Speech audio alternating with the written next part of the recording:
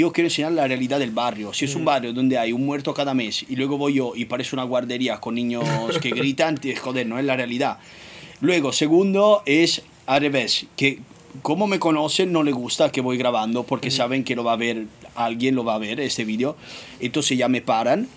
Y la tercera es un escenario intermedio, entonces me dicen, vale, te dejo grabar, pero como ya eres conocido, seguramente tienes dinero, entonces Págame. te, Hostia. me pagas. Ajá. Entonces, eh, bueno, de hecho el vídeo que sale ahora este domingo, eh, un tío sacó una pistola y se la puso en la pierna de mi acompañante y me dijo, o me das 100 pavos o le disparo, entonces he tenido que, que pagarle. Joder.